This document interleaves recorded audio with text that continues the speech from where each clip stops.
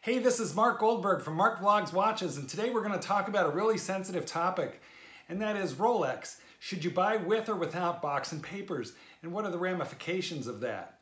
Now, Archie Luxury has made videos for years saying that box and papers are nice to have on Rolex, but not make it break it. And recently, my good friend Clive, the rancher, the wrangler, made a video which I thought was extremely sensible, and I, I think that you should have a look at, at the rancher's video, so I will copy and paste uh, the link to that in the description for this video. But in this, uh, the rancher says that the times have changed and that we have to consider, particularly when buying vintage Rolex, that we should buy with box and papers. And I'm here to offer you an, an entirely alternative viewpoint to, uh, to the other two, which is buy it without box and papers without fear versus only buy with, with box and papers. I'm gonna tell you how you can actually recreate box and papers on a Rolex that you own now or that you may buy in the future that is an authentic Rolex, but which comes without box and papers. So let's first have a look at a couple of authentic Rolex watch boxes and papers so we have an idea of what it is that we're looking at, and then we're going to discuss the methodology with which you can acquire box and papers for your authentic Rolex. Very important that you know about this because there are tons of wonderful watches out there that just didn't come with the box and the papers.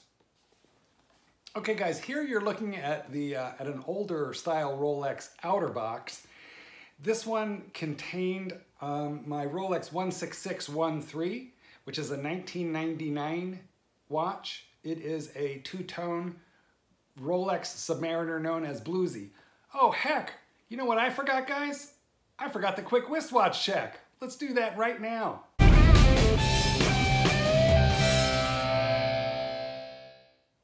I'm wearing the James Cameron DSSD JC Deep Blue Edition. And this is the first and now discontinued edition. Prices on this guy have been popping up. Okay. Before we open up this old style uh, Rolex Submariner box and see what kind of swag was inside, let's talk for a quick second about why it is that watches come without box and papers. And I'll tell you, it's very simple. The reason for that is, is that not everybody is a maniac like you and me. Okay, so we are not Rolex's traditional target customer. We are collectors. We are anal. We have OCD. We want the box, the paper, the hang tag. We want the original plastics. Sometimes we don't even want to take the plastics off. We are not well. The average Rolex customer sets the box aside, loses the paperwork, doesn't care about any of that, and then eventually uh, decides he wants to convert his Rolex back into money in order to pay off his mistress, to keep quiet to his wife, and that Rolex goes to a pawn shop without box and papers and eventually winds itself up on the gray market, and there you are. It's a beautiful piece. Let's say it's a, uh, let's say it's a two-tone bluesy, or let's say it's a, um, a Rolex two-line no-date Submariner without box and papers, but it's authentic. Should you buy it? Okay, well, we're gonna talk about that, but first, let's look at my 1999 Submariner box. So this is the old style cardboard box, had all kinds of, um, had all kinds of, uh, you know, like sub Submariner, submarine kind of, you know, decor to it. Inside is the, the fake leather box, or maybe it's real leather. Kind of smells like real leather. Okay, so I'm gonna say it's real leather, has the, the embossed Rolex in, insignia right there has uh, some gold writing on the bottom with the insignia again. Okay, when you opened it up, ooh, there was stuff in there. So this is a real leather pillow and it has a little pocket, which I'll show you what would have gone in the pocket. It has a leather chamois. This is actual, you know, like leather chamois, chamois for clean and polished, way better than microfiber. This is actual animal skin. Let me sniff it. Yeah, that's animal skin, probably deer and then um, the hang tags. Now remember my watch, which I'll, I'll, throw a picture right after this little segment, I'll throw a picture of that 16613 up there. Uh, my watch, it's a 1999, so it's like a 20 year old watch now practically. And so it was very nice that it came with box and papers and I have all these little bits and pieces. And that adds quite a bit to the value of this watch. But what if I didn't have box and papers? Well, before we go any further, let's have a little quick look at the 16613 two-tone bluesy Submariner. You can see it's quite a pretty watch. Um, this one uh, is from 1999 and you've seen all the swag and goodies that it came with. So I'm really lucky to have full set on this, but what if I didn't? What could we do about that? how could I recreate them? And that is what we're gonna talk about in this video. But there's all kinds of stuff that used to come in a Rolex box back in those days. So let's have a look. Swag, okay? So look, I've got the original Rolex uh, wallet that came with. This is really nice to have. This is in virgin condition and I don't intend to break its cherry. I'm just gonna keep it like new. Oh, the only thing I don't have is it used to come, this model came with a little silver anchor, but you could buy those for about 30 bucks on eBay. Here's just a quick look at an eBay listing of this anchor, and it shows that you can still get these guys. I think it's nice to have complete set, but I could sacrifice the anchor, but you can get one if you want it. Um, here is the little Rolex Submariner booklet, in case you don't know how to wind a watch. Here is your factory service booklet. And then this, this, believe it or not, when we are talking about box and papers, well, you saw the box. It's the outer box and the inner box. This flimsy little piece of paper, oh no, this isn't it. This is literally how to wind and set your watch. Sorry. This little flimsy piece of paper here is actually what we call the paper, okay? So of all the paper, and yeah, you could probably, you know, look at the serial number of my watch. I don't really care. Um, but this is the paper. So if you have the paper. You could even go on eBay and buy an authentic Rolex box, outer and or inner, and those are for sale on eBay all the time. This is the thing that you really, in, in, in, reality, cannot recreate, okay? Because it has the date, time, and place of its original purchase, and it has the model number of the of the watch. This is the 16613, and it has the serial number of that particular watch. And the serial number, depending on what kind of Rolex it is, depends on what location that serial number is engraved on that Rolex, but it's engraved on that Rolex someplace, okay? So this is the thing that you really are looking for because the box, now you could buy one on eBay, but the paper, that's what everybody wants. Why do we want the paper? I think we want it because it makes it a complete set, box and papers, and what that means is, is that we just feel better knowing that we got something that's authentic and that we can sell with relative ease because a Rolex with box and papers sells for more money and much easier uh, than if you don't have box and papers. And, I, and again, it's authentic. That's really, really critical. Okay, well, that's the old stuff. Let me show you a new one. This is a newer uh, Rolex box. You can see this outer box has still cardboard, but it's got the, uh, the crown emblazoned upon it in, uh, in embossed relief.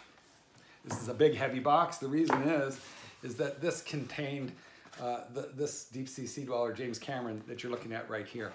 So um, we got a lot fancier on the on the leather or pleather box. That got a lot fancier. We got the wave water pattern. That is really gorgeous. Um, but still, you know what? It's not like wood as though it were uh, like a Patek Philippe. So, okay, now when we open this guy up, it is not quite as fancy as we used to have, but now we've got a place you know, for the for the paperwork. Okay, there's booklets, and here is the the the warranty card with the with the model, and I'm giving you the finger with the model and the serial number here. Okay, so um, in some senses, it's a little fancier. I've saved the bezel protector, the hang tags. So if and when I ever want to sell this watch, I will be able to sell it as a complete set. And um, certainly that will have greater value to a collector than otherwise. Okay, so that's what we really want when we buy a Rolex complete set with box and papers. But what do you do if you want to buy a, a watch, a Rolex, that you know or hope to be authentic, and you are ready to go ahead and recreate box and papers where there are none? What do you do? Let's talk about that right now.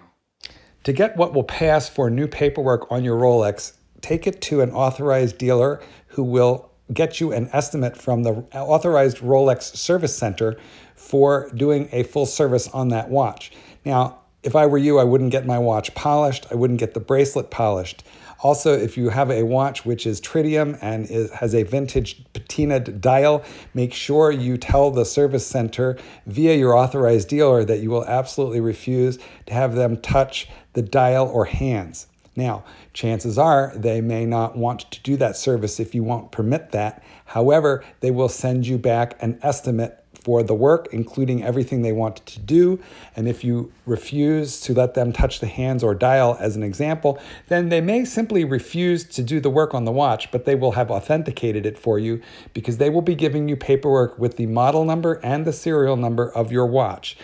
And that is direct from Rolex with the Rolex logo and address on there. Now what you're looking at here is the full kit that came back from the Rolex, Rolex Service Center on a two-line no-date sub. That is a 16040M. And look at look at everything that you get. You get a warranty card, you get a uh, some sort of a hang tag, you have a letter of authentication which includes the model and critically the serial number of that watch. You get a travel shipping pouch, and of course you get back a fully serviced watch. Now that is assuming you've done the service. This one was serviced without polish, just as we would want done on a vintage watch like this, and the entire fee was $700. But remember, you don't actually have to get the service done to get some of that paperwork back from Rolex. Now, should you get the service done? Hey, listen, absolutely. On a watch like this, because they didn't need to replace anything, the, the hands didn't have tritium falling off of it and so forth. Therefore, you know, you've got a 20 year old watch, which for $700 is now not only serviced and good for years of pleasure, but it's also now comes with essentially what will easily pass for box and papers for any serious collector. So that is $700 really well spent here you're getting a look at it's not really a hang tag it's just a reminder that you got to manually wind your automatic watch after a service like this and uh, more important, let's take a look at this warranty card. This card looks very similar to those original warranty cards that come with more modern Rolexes. They feature, uh, in this case, the date of service, the model number of the watch. Earlier I misstated the model. It is a 14060M and it has the serial number of the watch. Now that's really critical because that serial number is engraved right on this Rolex from the factory on the day it was made. And so this is really um, uh, helps to authenticate the watch, this warranty card. So between that and the shipping pouch that it comes with, you have really got yourself something that is very close to uh, the value of original box and papers. And in fact, to a collector, this would do it. If, if I were looking to buy a watch like this and it came with no box and papers, I would not pay as much as I would with, uh, with this material here. Here you're looking at the back of that warranty card. And here's the little shipping box that it comes back in. The watch will come on a pillow nestled into this uh, box. It's cardboard with felt, um, but I think the really critical thing is that it's from the factory service center and it has the Rolex logo on it. Not quite as nice as the original box in which it would have been packed, but this is a factory service center box, so it's definitely worth having if you have nothing else, or go buy on eBay. You also get this uh, nifty travel pouch. Um, I can't actually tell you that it's suede. It could be um, pleather or made in a chemical factory. But again, the important thing is, is that this is a Rolex factory service original pouch. And it says that right on the, um, right on the pouch. And this is like actually a collectible item right here. So, and you now have box and papers and pouch. And you're now authenticated and serviced and box and paper watch will be sent back to you in, a, in an outer shipping box that looks like this. Every scrap of this is collectible and savable. You got box and papers, dude. And here is a quick look at the 14060M. It is a really pretty watch. This is the watch in question. It has been serviced, but it has not been polished. I really recommend that you avoid when you're servicing your watch, avoid polishing the case or the bracelet because collectors like original quality and what we really want to see is uh, if it's got wear and tear on it, that's better than the, the lugs losing their lines, the bracelet losing the sharpness and the edge by being over polished. So you're you're way better off in original condition. Okay, so we got a couple uh, a couple of quick points as a as a matter of review. First, what I'm not recommending is that you take a vintage Rolex with a patina dial, with patina hands, send that into the service center with no instructions to get it serviced and authenticated and get all your box and paperwork. Because if you do that, they will take off the dial and give you a service dial, same with the hands. They will not give you back your old parts and you will actually screw the value of your watch because Rolex wants it to look new, but you want it to be the antique that it really is, okay? So if you have such a watch, um, and you'd like to get box and paper sort of reassembled for it, then what you do is you send it to the service center, as I said, with instructions on what you will and won't let them do. Then you got to cross your fingers a little bit and pray that they actually listen to you. But um, hey, you know, they are supposed to do that. And then what you will get back is a watch which comes with a Rolex authentication paper, you know, because by that, what I mean is it's going to be a, an estimate of what needs doing, along with the refusal to do it your way. It will contain the, the serial number of your watch as well as the reference number of your watch. That's what you really need. I doubt they're going to send you any kind of nifty swag like a travel pouch, but what you really need is the paper. Um, however, if you have a watch that could benefit from service and you don't need to worry about a service dial or hands, on a watch such as uh, the 14060M uh, that we saw here in, in this particular video, then listen, it's a brilliant idea. You're buying a 20 year old watch with no service history on it, no box, no papers. You know what? You should be getting that watch uh, at, a, at a much cheaper price than one that comes with box and papers. Wear it until the thing isn't working right, um, and then go do the process that we've just described here. Or if you want to sell it, then go ahead and go through the process, get everything assembled, and you should get far more value out of it than what you put into it. Number one. Number two, you'll have a watch that you can sell much quicker. Thanks to Matt Webb for all the pictures and the assistance in assembling this. What I can tell you is what we've just discussed here, by the way, what we've just discussed is a little bit of a dealer secret. You know, dealers are constantly, dealers of used watches are constantly acquiring used Rolex watches they can authenticate them because they know what they're looking at, but they know that their buyers are going to be all like wild and get a, a, hair up their butt about box and papers. So they do the process that I have just described. If you have something really unique, really expensive, let's say a Patek Philippe, well, you can send that off to Patek Philippe and get a letter of authenticity. That will cost you somewhere under $200 and you'll get an actual recertification of that watch. But with Rolex, do the process that I've described. Well, guys, thanks. I hope you liked this video. Please like, subscribe, squoosh, smish, smosh, lick the uh, like button, subscribe, etc. And hey, let's do this again soon.